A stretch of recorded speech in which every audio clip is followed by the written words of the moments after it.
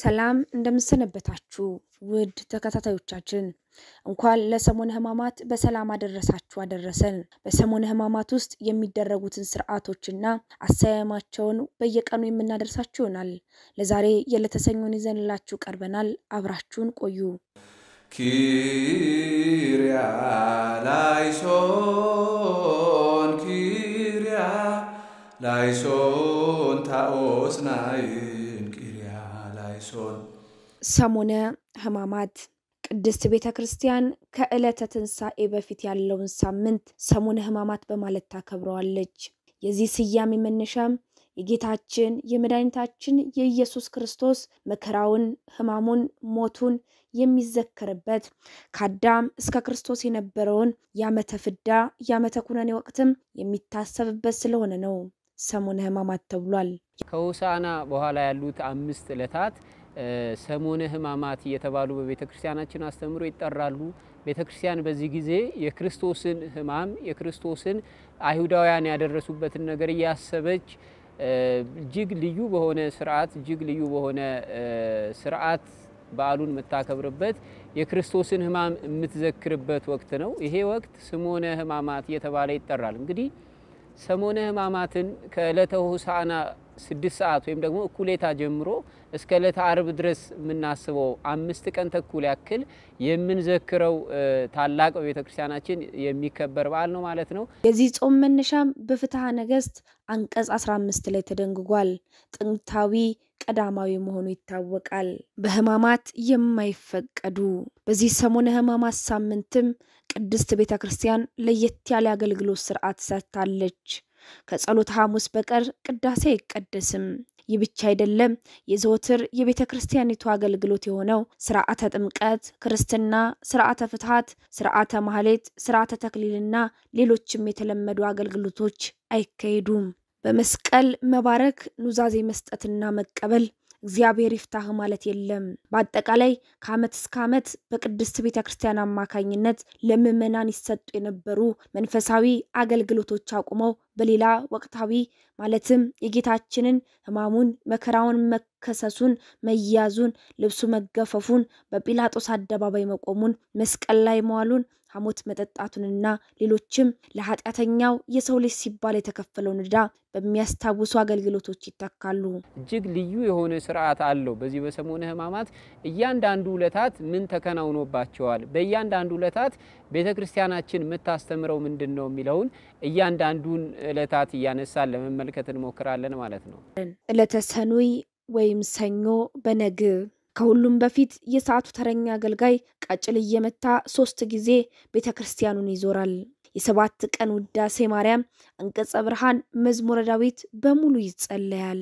በዕለቱ ተረኛ መምህር ወይንም መርጌታ የዕለቱ ድጓ ይቃኛል። ድጓው ከአራቱ ወንጌላት ምንባብ ጋር እንዲስማማ ሆኖ የሚቃኘው ድጓውን እየተቀባበሉ እያዜሙ ይሰግዳሉ። የድጓው መሪ መምህር ሰኞ በቀኝ ከሆነ ማክሰኞ በግራ በኩል ባለው መምህር ይመራል። እንዲህ እየተዘዋወሩ ይሰናበታል። ድጓው ሶስት ጊዜ ተመላልሶ ከተዘለቀ በኋላ ለከ ክብር ወስብሐት ወዘእስከ አማኑኤል አምላክ ለከ ክብር ወስብሐት ወዘእስከ እየተባለ በቀኝ በኩል ስድስት በግራ በኩል ስድስት ጊዜ እየተዜመ ይሰገዳል። በድምሩ አስራ ሁለት ጊዜ ማለት ነው። በዚያው ልክ አቡነ ዘበሰማያት በዜማ በንባብ ይደገማል። ከዛም በመቀጠል ለአምላክ ይደሉ ክብር ወስብሐት ወዘእስከ ለዓለም ለስሉስ ይደሉ ክብር ወስብሐት ወዘእስከ ለዓለም እያሉ በቀኝ በግራ እየተቀባበሉ ይሰግዳሉ። በመቀጠልም የነጉ ምንባብ መነበብ ይጀምራል። በመጨረሻ ታምረ ማርያምና ታምረ ኢየሱስ ይነበባሉ። ከዚያም ከዳዊት መዝሙር ምስባክ ተሰብኮ የሰዓቱ ወንጌል ከተነበበ በኋላ ጸልዩ በእንተ ጽንዓ ዛቲ የተባለው ጸሎት በካህኑ ሲነበብ ምዕመናንም አቤቱ ይቅር በለን እያሉ በመስገድ ይጸልያሉ። ከዚያም ሁለተኛው ስርዓተ ስግደት ይጀምራል። ዜማው የሚጀምረው አሁንም በቀኝ በግራ በመቀባበል ነው። አንዱ ይመራል፣ ሌላው ይቀበላል። እንዲህ በማለት ኪርያ ላይሶን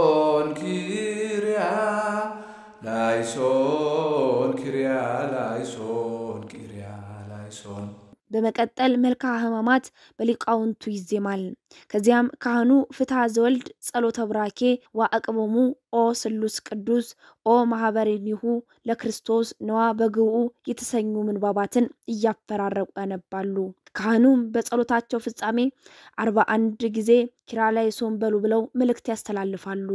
ሕዝቡም መልእክቱን ተቀብሎ ይጸልያል። ዲያቆኑም ሑሩ በሰላም እግዚአብሔር የሀሉ ምስሌክሙ ንዑ ወተጋቡ ውስተ ቤተ ክርስቲያን በጊዜ ሰለስቱ ሰዓት ብሎ ያሰናብታል። ዕለተ ሰኞ ይህ ዕለት መርገመ በለስ እና ንጽሐ ቤተ ክርስቲያን የተፈጸመበት ዕለት ነው። የመጀመሪያው የሰሞነ ሕማማት ዕለት ሰኑይ ነው። በሰኞ ሁለት ነገሮች ተከናውነዋል። ይኸውም የመጀመሪያው መርገመ በለስ ሲሆን ሁለተኛው ደግሞ አንጽሖተ ቤተ መቅደስ ነው። በማግስቱም ከቢታንያ ሲወጡ ተራበ። ቅጠልም ያላት በለስ ከሩቅ አይቶ ምናልባት አንዳች ይገኝባት እንደሆነ ብሎ መጣ። ነገር ግን የበለስ ወራት አልነበረምና መጥቶ ከቅጠል በቀር ምንም አላገኘባትም። መልሶም ካሁን ጀምሮ ለዘላለም ማንም ካንቺ ፍሬ ብላ አላት። የመጀመሪያው ሰኑይ ላይ ሁለት መሰረታዊ ነገሮች እናስባለን። የመጀመሪያው መርገመ በለስ ነው። ሁለተኛው ደግሞ አንጽሖተ ቤተ መቅደስ በመባል ይጠራል። እንግዲህ በዚህ በማቴዎስ ወንጌል ላይ እንደምንመለከተው ማቴዎስ ወንጌል ምዕራፍ 21 ቁጥር 15 ላይ እግዚእነ አምላካችን ክርስቶስ በጠዋት በማለዳ ተራበ ይላል። እንግዲህ ክርስቶስ የሚራብ አይደለም፣ ለክርስቶስ መራብ የሚነገርለት አይደለም። እግዚአብሔር አምላካችን መራብ መጠማት የሚያገኘው አምላክ ሆኖ አይደለም። መጻሕፍት ይህንን ሲመሰክሩ እንዲህ ይላሉ።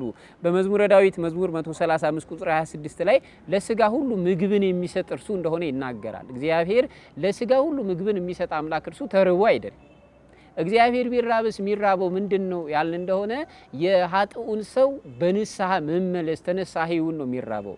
የእግዚአብሔር መጠማትስ ካልን ሊቁ እንደነገረን የእሱን እንባ ነው የሚጠማው። ስለዚህ እግዚአብሔር የሚራብ እግዚአብሔር የሚጠማ አምላክ ሆኖ አይደለም አይደለም ነገር ግን ትልቅ የሆነ ምስጢር የምንመለከትበት ክፍል ስለሆነ ነው። በዚህ በዮሐንስ ወንጌል ምዕራፍ 6 ቁጥር 35 ላይ ወደ እኔ የሚመጣ ከቶ አይራብም ይላል። እንግዲህ አምላካችን ክርስቶስ እንኳን እርሱ ሊራብ ወደ እርሱ የሚሄዱ እንኳን እንደማይራቡ የዘላለማዊ ምግብን ዘላለማዊ መጠጥን ስጋውን ቆርሶ ደሙን አፍሶ የሰጠ አምላክ መሆኑን ሲነግረን እንሰማለን ማለት ነው። የሕይወት እንጀራ ነው፣ እርሱ የሚራብ አይደለም።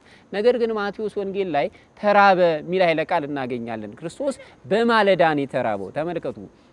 በማለዳ መራብ ደግሞ የተለመደ ነገር አይደለም። ሰው ጾም እንኳ ሲጾም ውሎ ሊርበው ይችላል እንጂ ማለዳ ተነስቶ ራበኝ አይልም። በማለዳ መራብ የሚታሰብ አይደለም።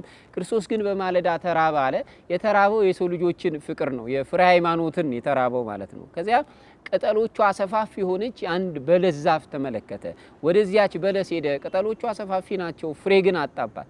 ከዚህም በኋላ ፍሬ አይገኝብሽ ብሎ ይቺን በለስ እግዚእነ አምላካችን ክርስቶስ ረግሟታል። መርገመ በለስ ብለን የምናነሳው ይህንን ነው። እንግዲህ ማርቆስ ይህንን ታሪክ በዘገበበት መጽሐፉ ላይ ስንመለከት በማርቆስ ወንጌል ምዕራፍ 11 ቁጥር 15 ሄዳችሁ ስታነቡ እንደውም ጌታ ሄደው ፍሬ በሚገኝበት ወቅት አልነበርም። ፍሬ መስጠት በማትችልበት ወቅት ነው። በዚህ ጊዜ ሄዶ ፍሬ አጥቶባታል። ይቺን በለስ ረግሟታል። ሊቃውንተ ቤተ ክርስቲያን ጌታችን መድኃኒታችን ኢየሱስ ክርስቶስ አንዳች ፍሬ እንዳይገኝባት የረገማት በለስ የኃጢአት ምሳሌ ናት ብለው ይተረጉማሉ።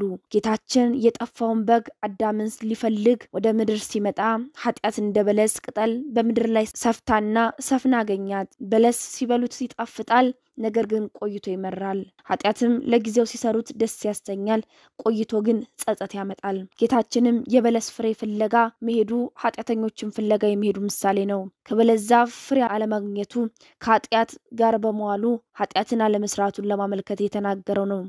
ከዚች በለስ ጋር መረገም ተያይዞ ሊቃውንት አባቶቻችን በትርጓሜ ይቺ በለስ ምንድናት የሚለውን ሲያስረዱ ሶስት መሰረታዊ ነገሮች ይነሳል። የመጀመሪያው ይቺ በለስ ቤተ እስራኤል ናት።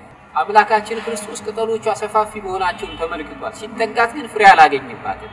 እስራኤልን የዚች የወይኗ ፍሬ ሰፋፊ ቅጠሎቿ ሰፋፊ ለሆኑ እስራኤልም ደግሞ እንደሷ ቅጠል ሰፋፊ የሆነ እስራኤል የሚባል ሃይማኖትን አግኝተዋል። እስራኤል የሚባል ማንነትን ይዘዋል። በሃይማኖታቸው ግን ፍሬ አልተገኘም። ፍሬ ሃይማኖት የለባቸው፣ ምግባር የለባቸውም፣ ፍሬ ምግባር አልተገኘባቸውም እና ቤተ እስራኤልን የረገመው ብሎ አባቶቻችን በትርጓሜ ይነግሩናል ማለት ነው። እስራኤላውያን እስራኤል የመባልን ክብር አግኝተዋል፣ ፍሬ ግን የላቸው ማለት ነው። ለዚህ ፍሬ ያጣባትን በለስ መርገሙ ይቺ በለስ የቤተ እስራኤል ናት ብለው ይተረጉሟታል ማለት ነው። ሌላው ብሉይ ኪዳን ነው ተብሎ ደግሞ ይተረጎማል። ብሉይ ኪዳን እንግዲህ ብሉይ ኪዳን ፍጹም የሆነ ድነትን አላሰጠን። አምላካችን ክርስቶስ ሕግና ነቢያትን ሊሽራቸው አልመጣውም ልፈጽማቸው ነው እንጂ ብሎ ሕግና ነቢያትን ለመሻር ክርስቶስ አልመጣም። ነገር ግን የብሉይ ኪዳን ሕግ ፍጹም ድህነት የሰጠችን ስላልሆነች ፍጹም ድህነትን ክርስቶስ የሰጠን በአዲሲቱ ሕግ ስለዚህ ብሉይ ኪዳን ሕጉ አልፋ አዲሲቷን ሕግ ክርስቶስ ሰጥቶናል ማለት ነው። እንዲህ ሁሉ ፍጹም ድህነት አልተገኘባትም፣ በለሲቱም ደግሞ ፍሬ አልተገኘባትም እና ለብሉይ ኪዳን ምሳሌ ትሆናለች።